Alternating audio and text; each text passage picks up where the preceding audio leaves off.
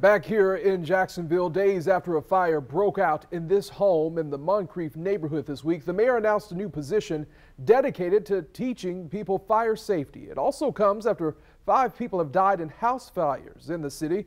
On your side's Haley Harrison has more details on that announcement and spoke with an emergency dispatcher who helped save the life of a woman just a few days ago.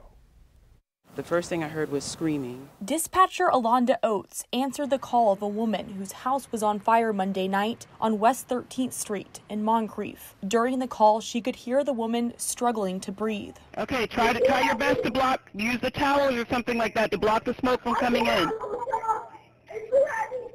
They're coming. Uh, ma'am, they're coming.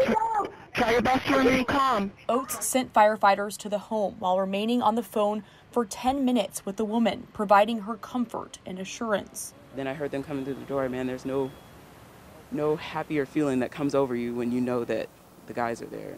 Yeah, they're doing their thing.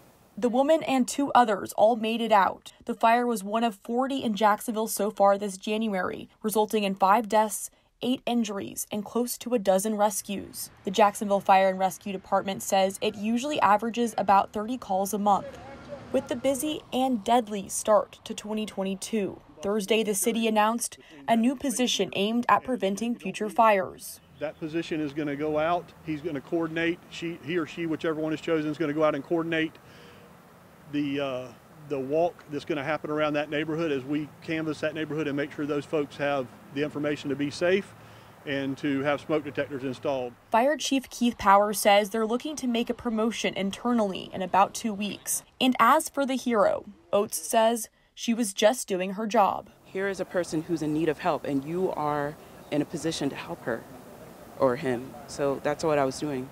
I'm Haley Harrison, First Coast News, on your side.